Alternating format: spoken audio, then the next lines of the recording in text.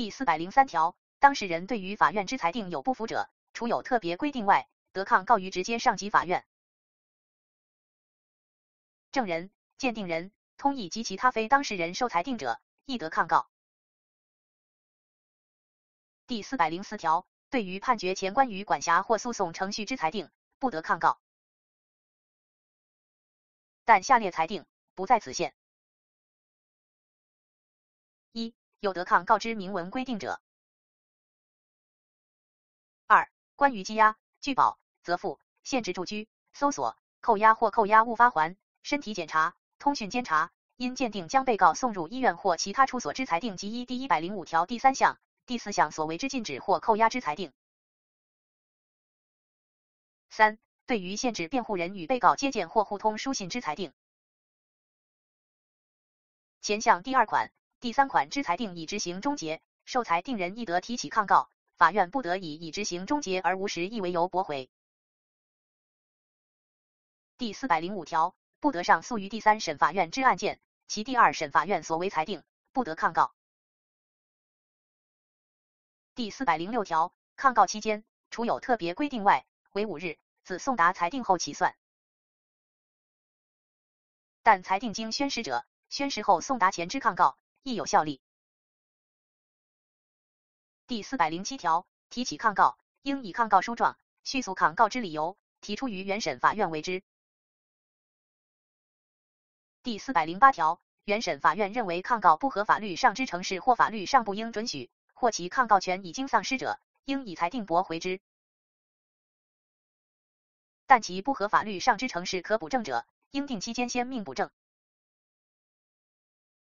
原审法院认为抗告有理由者，应更正其裁定；认为全部或一部无理由者，应于接受抗告书状后三日内送交抗告法院，并得添具意见书。第四百零九条，抗告无停止执行裁判之效力。但原审法院于抗告法院之裁定前，得以裁定停止执行。抗告法院得以裁定停止裁判之执行。第四百一十条，原审法院认为有必要者，应将该案卷宗及证物送交抗告法院。抗告法院认为有必要者，得请原审法院送交该案卷宗及证物。抗告法院收到该案卷宗及证物后，应于十日内裁定。第四百一十一条，抗告法院认为抗告有第四百零八条第一项前段之情形者，应以裁定驳回之。但其情形可以补正而未经原审法院命其补正者，审判长应定期间先命补正。第四百一十二条，抗告法院认为抗告无理由者，应以裁定驳回之。第四百一十三条。抗告法院认为抗告有理由者，应以裁定将原裁定撤销，于有必要时，并自为裁定。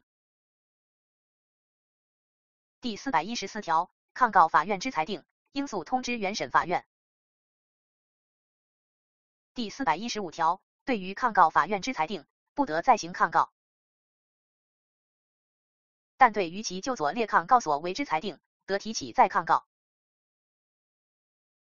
一。对于驳回上诉之裁定抗告者；二、对于因上诉逾期申请回复原状之裁定抗告者；三、对于申请再审之裁定抗告者；对于第四百七十七条定刑之裁定抗告者；五、对于第四百八十六条声明一意或异议之裁定抗告者；六、证人。鉴定人、通译及其他非当事人对于所受之裁定抗告者，前项但书之规定，于依第四百零五条不得抗告之裁定，不适用之。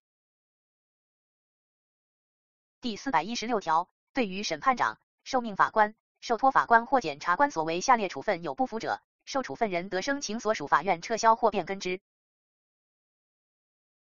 处分已执行终结，受处分人亦得申请。法院不得以已执行终结而无实意为由驳回。